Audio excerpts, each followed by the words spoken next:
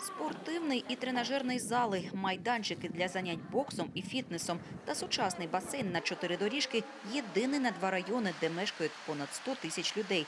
Усе під дахом одного спорткомплексу.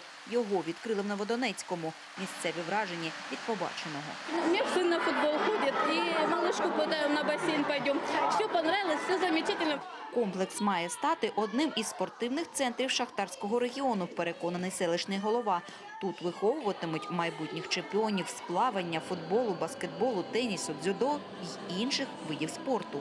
У нас э, порядка восьми секций, которые вновь э, привиты к на- в нашем спорткомплексе. Это бокс, это фитнес, это водное поло.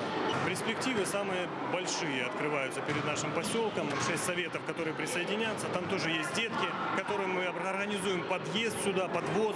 Ремонт тривав майже півтори року. Аби оновити палац спорту, витратили понад 14 мільйонів гривень. Це кошти Державного фонду регіонального розвитку, обласного та місцевого бюджетів, а також компанії ДТЕК у межах програми соціального партнерства з Новодонецьким. Адже в ДТЕК переконані, міста, де працюють підприємства компанії, мають розвиватися і поступово ставати центром спортивного та культурного життя регіону. Этот прекрасный дворец спорта в поселке Новодонецком является очень ярким примером сотрудничества власти, бизнеса и общества.